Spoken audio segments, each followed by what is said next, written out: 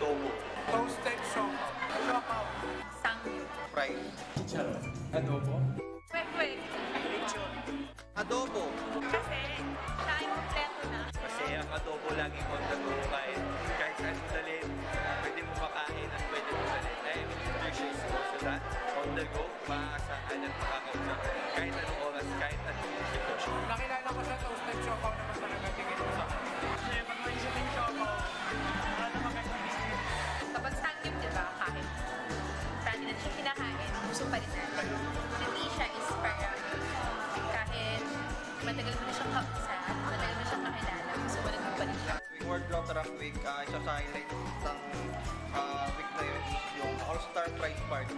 So, ayun, uh, nag-gather kami ng mga Rotaractors from different districts there to uh, celebrate the World Rotaract Week with pride. Kasi di ba alam naman natin si Charon, ano ma pag, pag kinagat na sa akin. So si Pure Art siya ay para mahahalikulan mo siya sa akin siya. Kasi siya yung tipo ng tao na pag kinagat mo, kinagat agad sorry. Nasa loob yung chewiness, pag kinilala mo pa siya, mas doon mo ma-appreciate yung as a leader and as person. sweet, salty, and classic, genuine for Filipinos. I think the kind of leadership that DRRE has is a very genuine type. I'm looking forward for that. Masa Secret siya. Parang pang.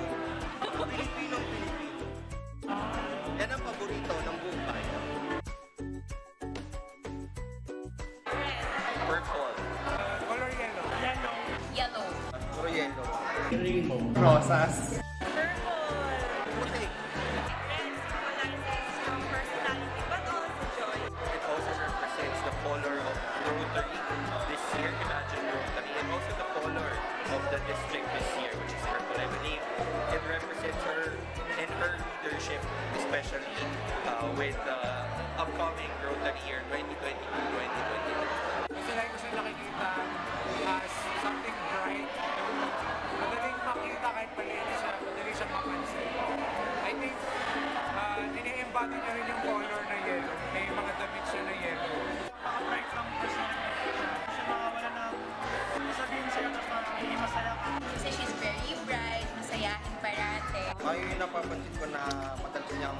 Uh, kulay ng suot sa gown for uh, mga big event. Hindi siya yung tipo ng tao na sinusupport niya yung lahat ng kulay. Um, anything in between. Rosas is a combination of white and red. White kasi pure leadership, at the same time yung red kasi fiery. No, napaka-fiery nung kanyang spirit. So yun yung gusto kong angas na meron yung DRRE na.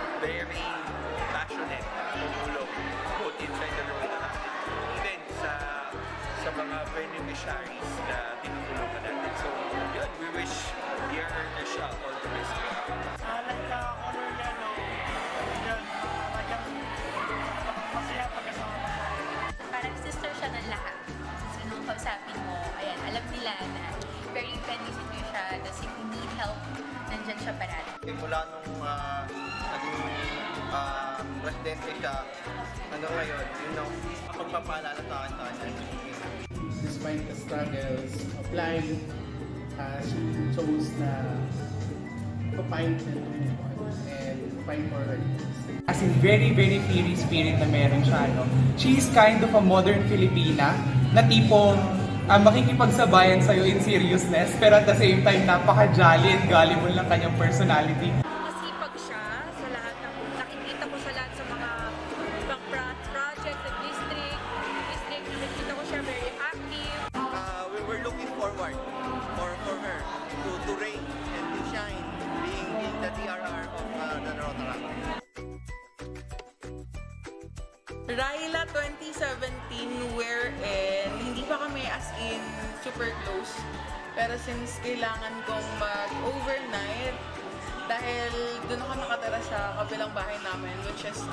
Bulacan. Nag-ask ako kung kanino pwede mag-overnight and then nag- nag-guest siya. So, I went to their house. It's the first meeting, tapos overnight. And then, parang, ano, parang ang ironic pa lang kasi mas, mas mahimbing yung tulog kaysa dun sa may-ari ng kama that time. So, parang wala siyang tulog the whole time while nasa biyahe kami pa corridor. And then ako, mo, energetic kasi nakatulog ako kahit hindi ko bahay. Nag-close kami right after na ah, mag-open up siya tungkol sa kung ano yung naging problem niya sa akin, kung ano din naging problem ko sa kanya. Ah, yun yung ano, before matapos yung term niya. For me, Trisha is a good friend. So, lagi lang din naman siya nakikinig sa mga problems mo or kung may open up ka sa kanya. Ganyan. As a friend, super supportive din naman siya sa kung ano yung, alam mo yung kung ano yung gusto mong gawin. At saka, um, sometimes, talagang kahit alam niyang, kahit na hindi niya matulungan in terms of monetary, makatulong man lang siya in terms of emotional support. Most memorable moment ay meron kaming pinuntahan na event. Tapos wala kaming masakyan. Parang binabalang kami sa Muñoz. Tapos sobrang traffic sa Muñoz. Ang ginawa namin, nilakad namin from Muñoz Market and hanggang Tandang Sora Palengke. Na naka-heels ako. So, parang for the paltos kami kasi wala talaga kaming makuwang sasakyan. Lahat puno. So, habang nagkukantuan kami, naglalakad kami, tapos nagulat lang kami, we've arrived to our destination. Kapag na panood niya to, matatawa siya kasi feeling ko, yun din yung isa sa ano, most memorable moment. Kasi aside sa mas nakilala namin, I mean, yung isa't isa, ah na-realize namin na kung dala-diretso yung lakad from Muñoz to Tandang Sora, mabilis lang pala.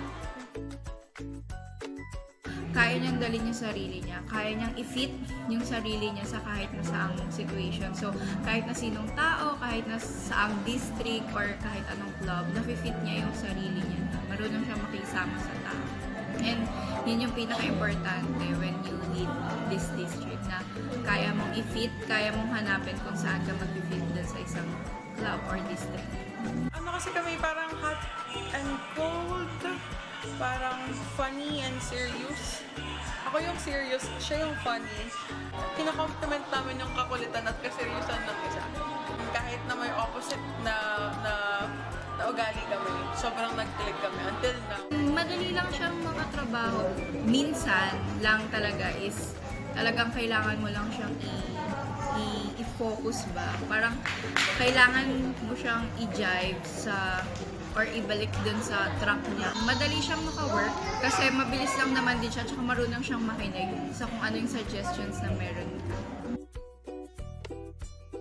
Laging sinasabi ni Trisha na nabudol siya sa Rotarac. Kasi interact siya sa New Era High School. And then, if I'm not mistaken, madan siya ng Discon. Nagulat na lang siya, inducted na siya. From there, nandun na talaga yung passion eh. Makikita mo sa kanya na genuine siya na tao, na passion is there to the point na kapag nag-frustrate siya, iiyakan niya lang yan pero itutuloy niya kasi alam niyang worth it. Nag-start yung 2015, so Discon sa Batangas. Pero before that time, ano, wala pa kasi kaming, um, I mean, Rotaract Club. So, from Interact, yung mga kasama ko, galing talaga sila solid sila from Interact. Tapos ako, saling kit-kit lang noon na mag-Rotaract. And sabi niya, uy, ganda ng sulat mo. So, going na secretary. Pero little did I know, nung umattend na kami sa Batangas, ayun pala, may kasama palang induction. So, nung na-induct na kami, wala na, sabay-sabay kami, walo kami, inducted na kami as uh, Rotaract Club of Midtown QC last 2015. And after that, pinag-start na kagad kami na mag-host ng isang district event, which is before we called it as COETS, na Club Officers Elect Training Seminar. So, sabi namin, ang bigat, bakit kami agad na baby pa kami? Pero, buti na lang, may mga, may Rotaract Club na tumulong sa amin during that time, which is si STI, Rotaract Club of STI Munoz EDSA, together with, of course, our PDRR, Kuya Pat, Pat Hermoso. So, siya talaga isa sa mga nag-guide sa amin during that time. At first, bilang Rotaractor, wala pa sanang, I mean, the dream. Pero after that, naging district officers, So, naging um, assistant district Rotaract representative agad. So, parang ang bilis-bilis na at least um, binigay nila sa akin yung trust to be the to be the district officer that time. And after no, nagtuloy-tuloy na parang nanalo din kasi ako na, na um, best ADRR for Region 2 dun uh, during term ni Kuya Louie, PDRR Louie, now may district trainer Louie.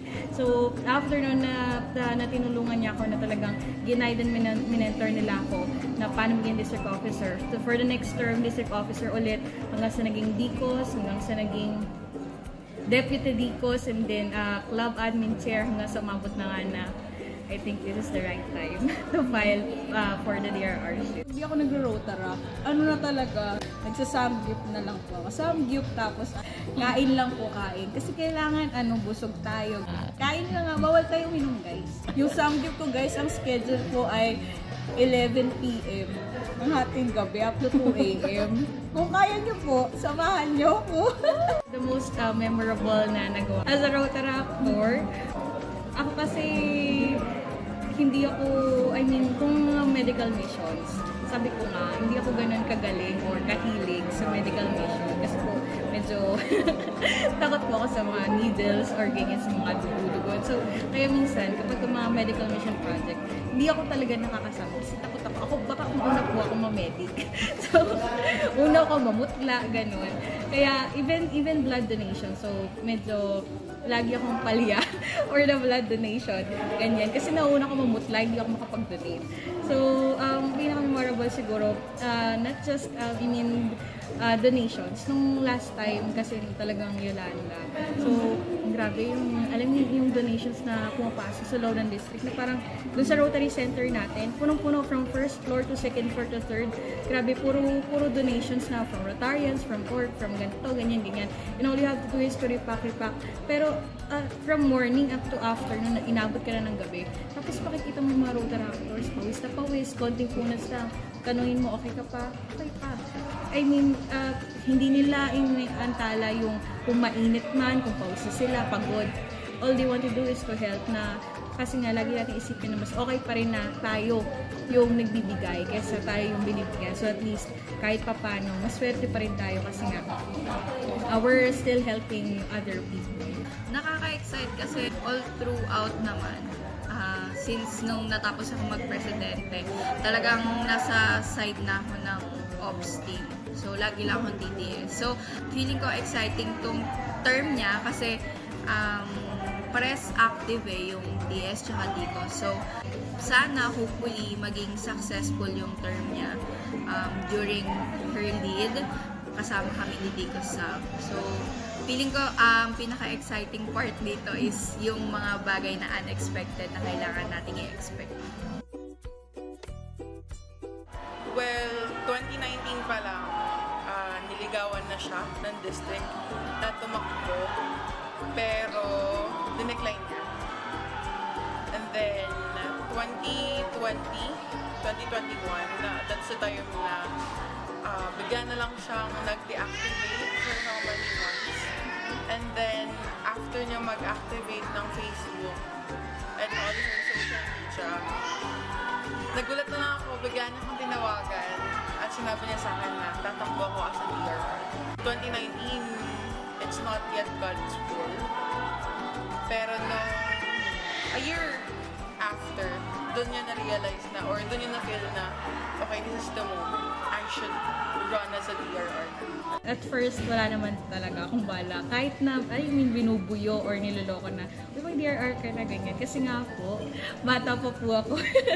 so, wala pa po talaga akong balak mag DRR. Pero bakit ngayon parang kinakain ko lahat ng sinasabi ko. So, ito na nga. Nung time na yun ng October, parang natanong ka rin naman sa mga clubmates ko kung ah, ready na ba tayo. Kasi if ever man, syempre na mag-DRR ako, alam ko naman na kailangan ko sila from the very start. So, I asked for their, uh, muna, for their um, opinions kung sa tingin namin, kaya na ba namin. So, nung pumayag sila, doon ako nag-start na mag-file. And then, isa sila sa mga, I mean, mentors ko talaga. And sa mga nag-critic sa mga district plans ko para sa aking ano, pagtakbo bilang DRR. Grabe, nung after nung nailik ako, parang ano, two months din na, alam mo yun na, parang overflowing ang emotions mo na every time they message you na, Hi, DRRN, kasi N pa eh. So, nung once they message yun, hi, dear RN, minsan binibiro ko, uy, wag, ano pa rin, you can call me, you can still call me Ate Trish. Pero, al- alam mo, as time goes by from DRRN to DRRE, so grabe, grabe yung, parang tuwan-tuwa ako. And aside from that one naman, syempre, we plan na na ano pa ba mangyayari kasi hindi, yun na nga, hindi inaasahan na may COVID, ganyan. So, it all switches to virtual na yung mga activities. So, hoping and praying nga na ngayon, we're planning na paunti-unti. One of our, I mean, the district events are uh, ongoing physical. Pero again, with uh, safety precautions. So, if ever man na, na, na may, I mean, wag naman sana. So, kung ipagbabawal ulit sa district natin or maghihigpit ulit, then we're switching to virtual. So, we need to follow pa rin, of course, your, ano, safety first. smooth so far ng preparation. Probably we're stressed and the quite um, anxious. We are all um, feeling that one. Pero after all, I know this is going to be worth it. Maganda yung combination ng district officers na Trisha. I'm confident enough na magiging maganda yung kalalabasan ngayong taon. The district officers that she chose, trust her. So if that's the case, if you have the trust, for sure, magiging successful whatever you plan. this term, kasi hindi naman natin talaga inaasahan na, I mean, na magkaka-COVID or na magkakaroon ng ganito sa, I mean, hindi lang siya sa ibang bansa, with, uh, it also affects our country. So, doon pa lang parang, alam mo yun, yung mga pinaplano mo during the time na sana ganito, sana ganyan, but it all changes dahil sa, uh, because of the pandemic. So, kailangan lagi tayo may plan B. So, one of my dream at that time is sana maging ano, physical talaga ang, mga projects or community service projects natin. Kasi mas nadadama natin yung essence ng pagiging Rotaractor is to help the community. So, syempre, mas okay na, I mean, buong lakas, talento mo, time, maibigay mo for the community. And, uh, yun, sana mag-continue na maging physical, uh, I mean, events tayo. Pero, alam ko naman na medyo mahirap pa rin. May mga clubs pa rin na hindi pa, hindi pa kayang gawin ng ganun. So, ako naman, I'm just here to support our district and of course, um, to guide and mentor them as well. Na kahit, uh, I mean, mahirap, sabi ko basta uh, kung may problema, may, may problema or concerns, always ask the district so that we can Rotaract or Rotarian? Pwede din namang Rotarian. Oy, pass daw. Pwede din naman pong Rotarian. Thank you so much po. District or home club? Oh my gosh! Makakatayin kasi ako ng home club ko. Pero, guys, home club muna. Strawberry or chocolate? Chocolate, syempre. Anong favorite district mo aside from ours? Hala, wait lang, baka magtampo yung iba. Pero kasi madalas ko naman napupunta. kasi 3800. Hello, Celeste, Rizal areas. Anong favorite mong avenue of service? For the avenues of service, I'll go of course with the community service. First love sa Rotaract. Tao ba to? Wait lang, grabe. Sorry, pero iba yung babanggitin kong name kasi ayoko mag-feeling siya. so, ang first crush ko po talaga sa Ruta. Sino ba? Bakit para kasi ang dami nila? Pasensya na sa best friend ko, pero una talaga si Excel sis. I Excel, ma? to my mama and papa. so I hope you're watching this one. Um, fully aware sila kung ano yung pinasok ko kasi nga 2015 pa lang nag-rotaract na ako. So familiar na sila sa mga names or jargons na ginagamit ko na mama may ganito kami, may ganyan kami, paalis ako, ganyan. So medyo umay na nga sila sa kung ano mang kong ginagawa. And before din ako tumakbo, I also, syempre, not just my clubmates, but also my parents, consulted na nagbabalak na ako mag-DRR na, pwede ba mahirap yan, ganyan, ganyan.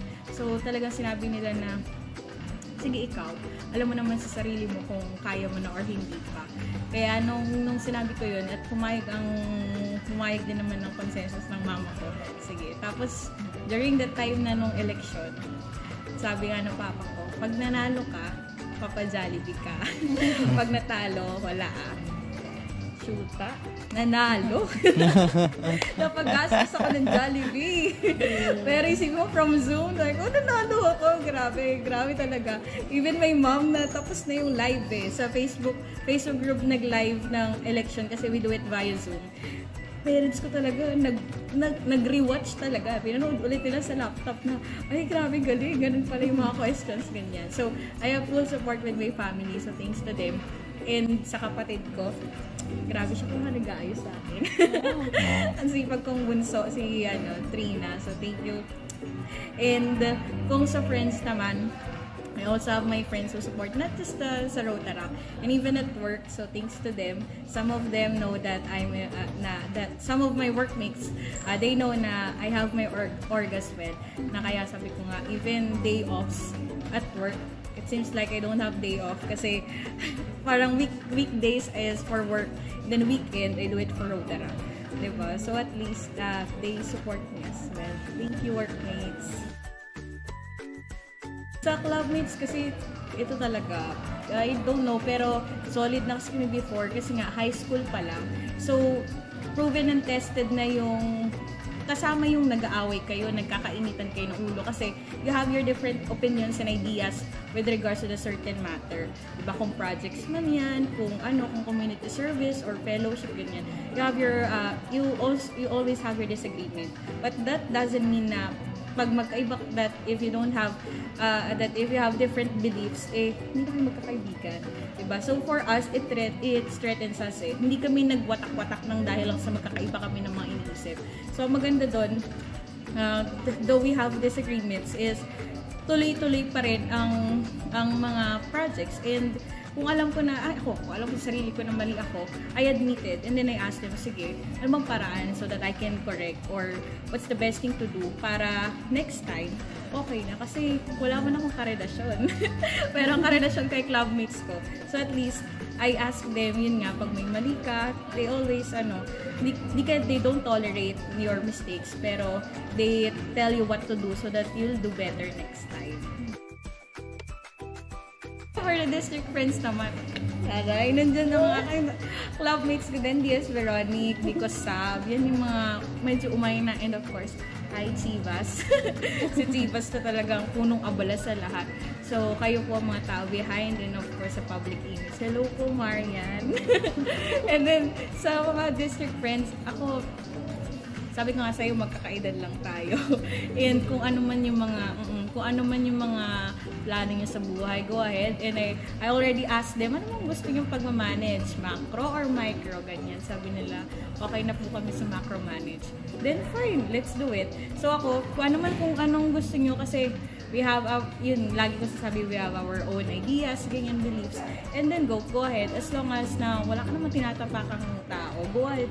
Kung anong gusto mong project para sa team, go lang. I'm just here to support. To my imaginative stellar district team, so first of all, thank you for saying yes. And just to share, uh, may mga natap na ako before na district officers but unfortunately um, they declined the position kasi they have something to do on their studies. Yung iba gusto pang mag-aral or mag-masteral and some of them wanted to go abroad or have their work muna to promote ganyan career muna, career growth. So ako syempre, hindi ko naman pipigilan. I mean, uh, whatever is your peace of mind, kung saan kayo masaya or kung saan mas okay kayo. If you want to do your studies and work, then that's fine. So, dun pa lang sa mga taong nag, nag-say yes say yes to the dress. Nag-say yes to ano, uh, to the position. So, everyone, thank you so much. So, hindi nyo alam na kung gaano nakakataba sa puso kasi al, ngayon, kompleto. Kompleto na tayo and wala nang bibitaw. So, sumahan nyo ko uh, all together with this uh, Rotary Year Imagine Rotary. Together with the District Governor-elect Florian Enriquez and of course our RI President-elect Jennifer Jones. To everyone and to all the to my fellow Rotaractors of District 3780, thank you. Puro thank you na lang kasi grabe sabi ko sa inyo, um, from DTTS up to PISETS, that's our two physical events that already accomplished. So, uh, isipin mo, lagi ko sabi sa group chat from PISETS, I thought na we're only 40, 30 to 50. Kasi sabi ko, wala pa tayong presidente. Marami pang Rotaract clubs ang wala pang president-elect. So, mahirap pero 'di ba? Sabi ko, ituloy natin ang visits kahit 50 lang tayo or less than 50, then that's fine. Tapos ah, pumalo ng nag-60, nag-80, and, and then uh, the last registration for presets, we reached 120. And dun pa lang, sobrang na-overwhelm ako. Thank you so much to the, I mean, to my imaginative uh, presidents kasi grabe yung suporta nyo. And sabi ko nga, hindi naman namin inaasahan na ganun tayo karami. So it's so good to be back. back again to our physical activities and events. So sana patuloy nyo suportahan ng ating district. And of course, I'm just here for you guys. So thank you so much. Message ko lang for uh, para sa sarili ko. Sana, uh, gaya ng pinag-pray ko last year kasi COVID pa, good health lang. Eh, yun lang nag-iisa kong prayers na para kako pagdating ng next term, ganyan. I mean, kasi lagi tayong nasa labas.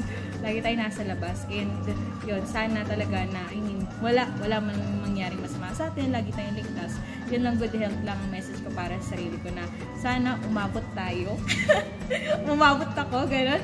Nabuhay na buhay and alive for, I mean, up to 2023 na good health lang tayong lahat. Kasi isipin mo, ngayon mo na feel na really that health is wealth na parang we may not know if one day kung alive pa ba tayo or what pero yun lang sana syempre walang magkasakit sa district natin para tuloy-tuloy ang ating uh, physical activities. So yun lang din message ko sa sarili ko. Good health and then masaya po pag may kasama sa buhay. Baka naman charot. Baka magalit yung district team ko bawal nga daw po ako mag-boyfriend. Hindi ko po alam kung bakit.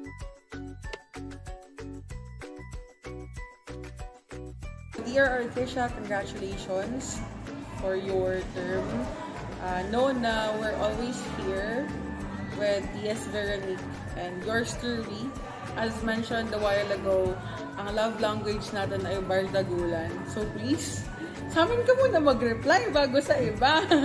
Kami muna yung jowa for this term. And uh, alam mo naman, simula pa lang nung sinabi mo sa akin or you trust me enough to tell me na tatakbo ka as DRR, nandun na kagad yung support ko.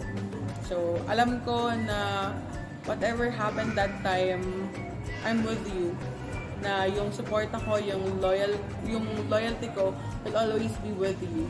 So, ngayon na nandito na tayo, and you chose us as your PS and DCOS for this term, know that the support will always be there and of course, nandito lang kami para saluhin ka. Hindi ka namin pababayaan. So, walang may iwan sa pamilyang ito. And of course, lahat tayo mag-grow for the betterment of the district and uh, ourselves. So, congratulations and I'm looking forward for all the projects that we are about to do this term and for the, for the succeeding term. So, cheers! Hi Trish, congratulations. So, simulat sa pool naman, alam ko naman na kaya mo na siyang elite yung club, ah, yung district pala natin. So, um, I know na medyo hindi tayo super swak noon. And then, um, there was a point na gusto mo nanding tumakbo ng DRR pero pinigilan ka namin lahat. Kasi alam namin na hindi pa enough yung knowledge na meron ka. But, nung time na sinabi mo na gusto mo na ulit tumakbo, na uh, sinuportahan ka na namin kasi alam namin na kayang-kaya mo nang i-hit. So, eto na yan. Congratulations to you. Are Isha. You know, uh, nag-usap na tayo. Uh, pinapangako ko na uh, lahat ng gagawin ng district ay na uh, suportahan natin and excited para sa taong Imagine Rotary kasi uh, marami tayong plano na pinag-usapan at hopefully maging face to face na And good luck and best of luck. Here are Risha, wishing you all the best in your term.